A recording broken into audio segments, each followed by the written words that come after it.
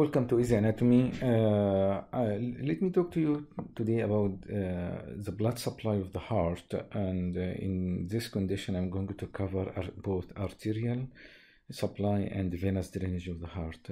So, let me uh, first give you a brief introduction that uh, arteries of the heart we have two coronary arteries, the right coronary and left coronary. Both of them coming from the ascending aorta. The origin of both come from ascending aorta. Okay, right coronary coming from right sinus and left coronary from the left sinus. So you know that the aorta, ascending aorta has two dilation at the beginning. Okay, so you have right coronary and the left coronary, right coronary and the left coronary. Okay, and this is the ascending aorta. Okay, so uh, when we discuss uh, right and left coronary, we need to make sure that uh, we know we know what is the area of the heart uh, supplied by each of them, and we discuss the collateral circulation between both of them. So let me start by having a simple drawing for the anterior and the posterior surface of the heart anterior and the posterior surface of the heart. If we look at the heart from the front, so this is the heart from the front, and this is the heart from the back. Okay. So from the front, keep in mind that we have the coronary sulcus. This is the coronary sulcus which might be interrupted by the ascending aorta and the pulmonary trunk right okay so we have the ascending aorta.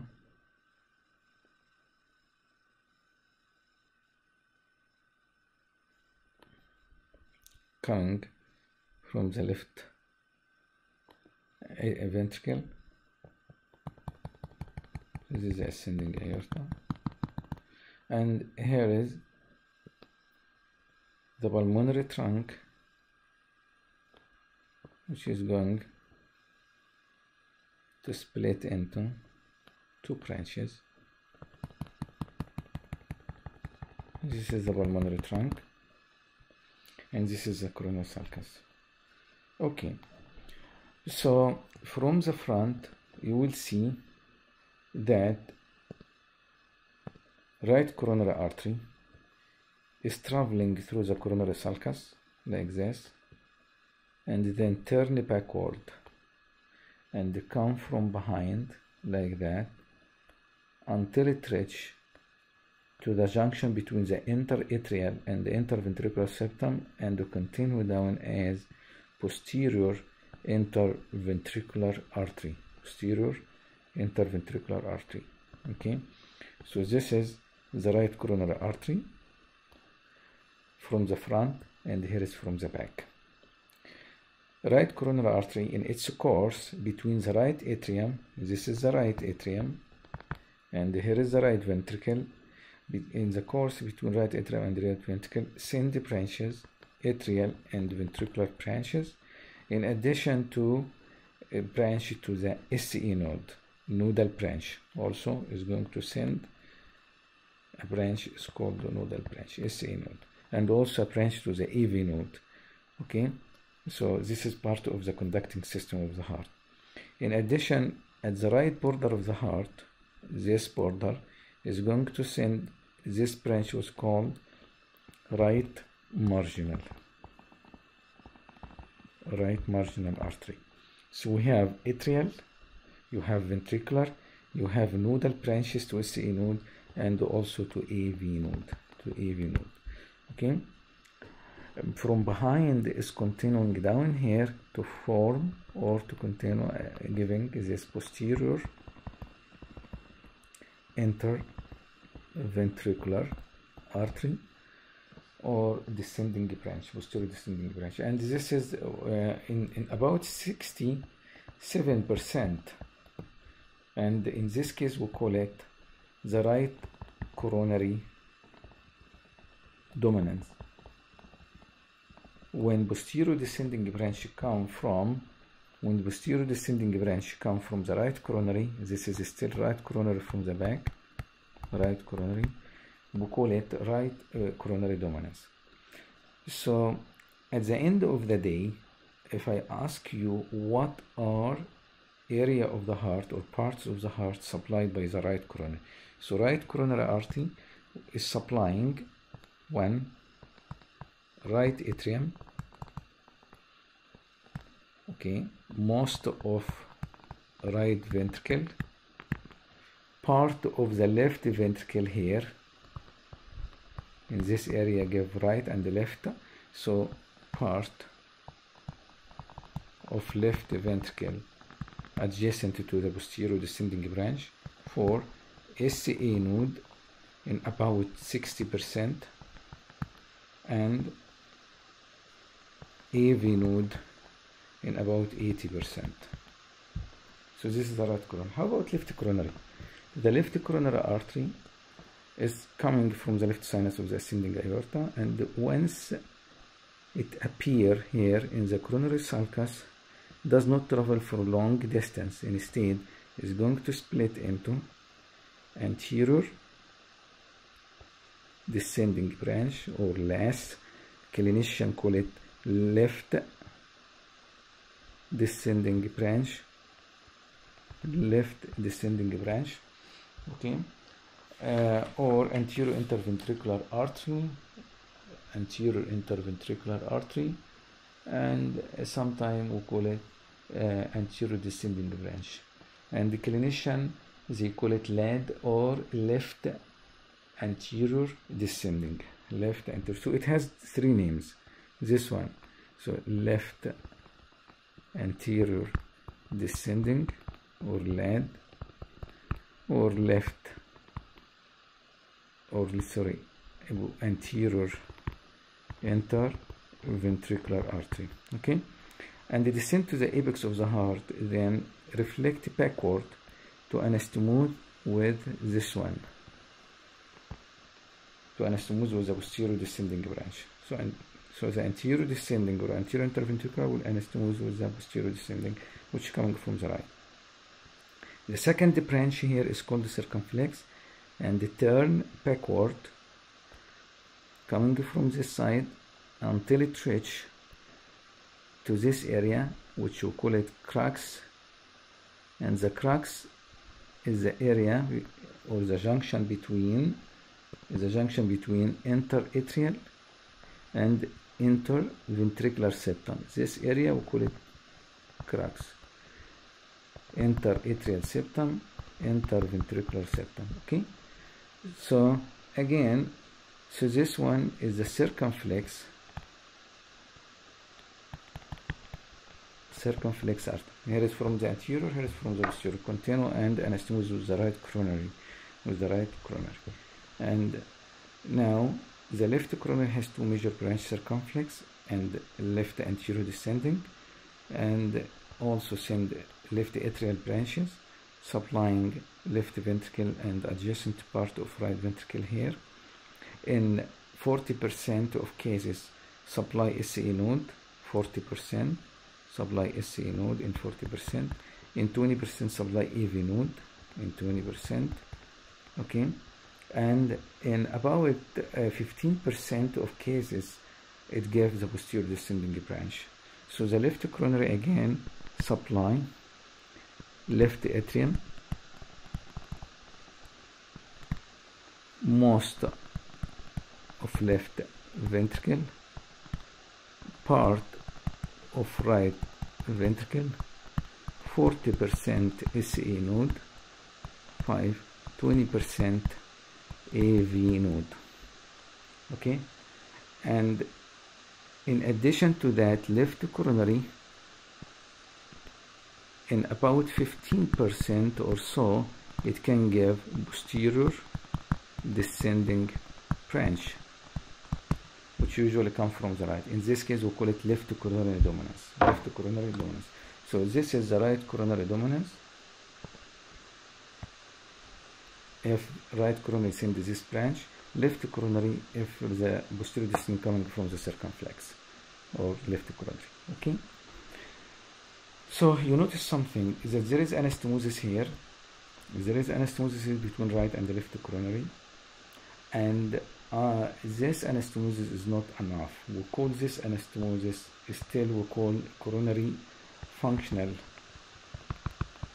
in the arteries it means that these arteries have yes they have collateral circulation and anastomosis but not sufficient to compensate if atrial or ventricular arteries are occluded. The atrial or ventricular branch like these branches you see or this branches the, the, the myocardiac branches. But why because myocardiac branches don't have anastomosis. That's why we have ischemic heart or we have infarction. If there is anything happen that is why we have infarction. If if those branches if those branches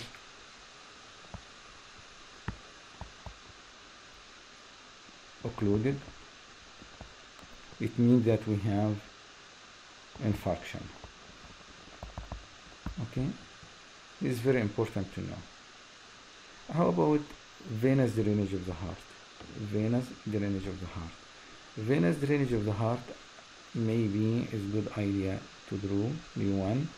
So again here is the heart from the front. Here is the heart from the back. I'm talking about venous drainage of the heart. So from the front you have the great cardiac vein shift posterior like this and side by side with Eh, the anterior descending branch. This is what we call it great cardiac vein. Okay? And the one which travel with the right coronary is called small cardiac vein. Small cardiac vein. Travel with the right coronary. Okay? And come from posterior here then the one which side by side with the circumflex artery is big vein here is called coronary sinus. This one is called coronary sinus. So the coronary sinus receives this guy coming from the front. This is the great cardiac vein. Great cardiac vein. Okay and receives this guy which coming from the front is a small cardiac vein small cardiac vein okay. This is from the posterior surface. This is anterior. This is posterior. You will see that middle cardiac vein is the one coming from the posterior or ascending through the posterior interventricular groove. Okay. This is we call it middle cardiac vein so basically you have like big vein is called the coronary sinus. It receives several cardiac veins including small cardiac which travel with. The artery located here is what? This is the right coronary. The artery located here is what? Left descending artery. Correct? The artery located here is what circumflex. So this is the circumflex artery next to the coronary sinus.